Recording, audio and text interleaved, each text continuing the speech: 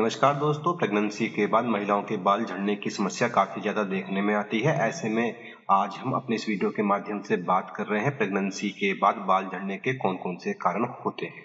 तो दोस्तों, इस टॉपिक पर बात करते हैं, वीडियो शुरू करते हैं।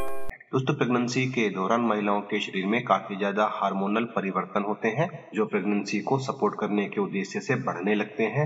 इन हार्मोन्स के कारण काफ़ी ज़्यादा साइड इफ़ेक्ट नज़र आते हैं। कभी कभी यह काफ़ी ज़्यादा परेशानी भी पैदा करते हैं तो कभी कभी यह फ़ायदा भी प्रेगनेंसी के दौरान प्रेगनेंसी हार्मोन्स बढ़ने की वजह से महिलाओं के शरीर में काफ़ी ज़्यादा बालों को मजबूती मिलती है, उनकी उम्र काफ़ी लंबी हो जाती है, वह मज़बूत हो जाते हैं, महिलाओं के बाल काफ़ी ज़्यादा बढ़ने लगते हैं। कई बार हाथ और पैरों के बालों को भी बढ़ते हुए देखा गया है, यह हार्मोन्स का साइड इफ़ेक्ट होता है। लेकिन जैसे ही यह हार्मोन महिला के शरीर में प्रेगनेंसी के बाद कम होने लगते हैं वैसे वैसे जो बाल पहले से ही अपनी उम्र पार कर चुके हैं वह झड़ने लगते हैं और यह सामान्य से ज़्यादा झड़ते हैं।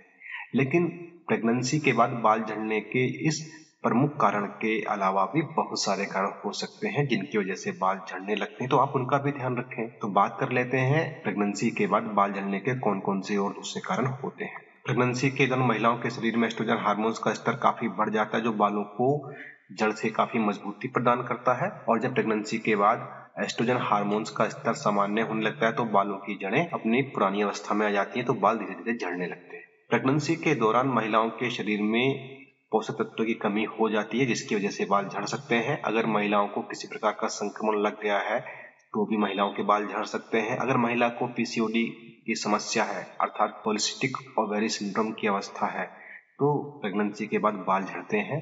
जिन महिलाओं को प्रेगनेंसी के दौरान हाइपर थायराइड की समस्या होती है डिलीवरी के बाद उनके भी बाल झड़ते हैं। अगर महिलाओं को किसी भी प्रकार की एलर्जी प्रेगनेंसी के बाद उनकी स्किन में नज़र आती है, खासकर सिर की स्किन में नज़र आती है तो महिलाओं के बाल झड़ने लगते हैं। अगर महिला के मन में किसी प्रकार का अवसाद घर गया है, महिला तनाव में रहने लगी है तो इस प्रकार के हार्मोन्स उत्सर्जित होते हैं जो बालों को झड़ने के लिए जिम्मेदार होते हैं। अब घर में शिशु आ गया तो अक्सर महिला उसकी देखभाल में इतना ज़्यादा इन्वॉल्व रहती है कि वह अपने शरीर का, अपने पोषण का ध्यान ही नहीं रख पाती है, अपने खाने पीने का ध्यान नहीं रख पाती है, ना समय से सोती है, ना समय से उठती है, मजबूरी भी होती है। ऐसे में महिला कुपोषण का शिकार हो सकती है, बाल झड़ने लगते हैं। अगर महिला को एनीमिया की शिकायत है या थायराइड की शिकायत है, महिला के भोजन में पोषक तत्वों की कमी है या महिला को किसी बात को लेकर अधिक तनाव है या महिला का स्वास्थ्य ठीक नहीं चल रहा है तो इन सब कारणों से महिलाओं के बाल झड़ते हैं। दोस्तों, इस वीडियो में इतना ही। अगर आप हमसे इस टॉपिक पर बात करना चाहते हैं या अपनी कोई बात रखना चाहते हैं या हमें कोई सजेशन देना चाहते हैं तो आप कमेंट के माध्यम से अपनी बात रख सकते हैं।